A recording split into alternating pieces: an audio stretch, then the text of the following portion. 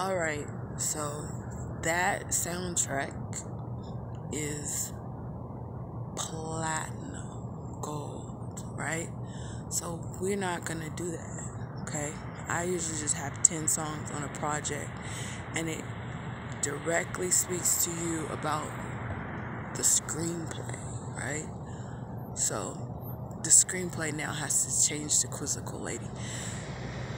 21 songs of singing um, beautiful worship.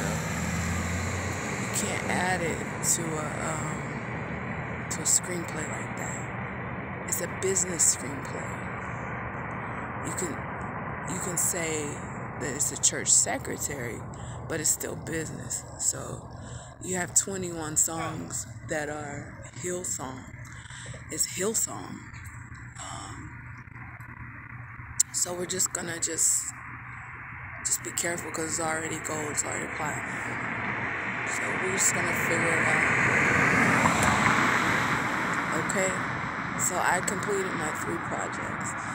Um, let me see. It was Quizzical Lady.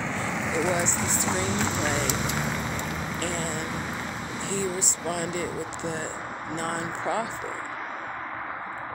You can't do a screenplay if a whole community and a whole church comes at you like that.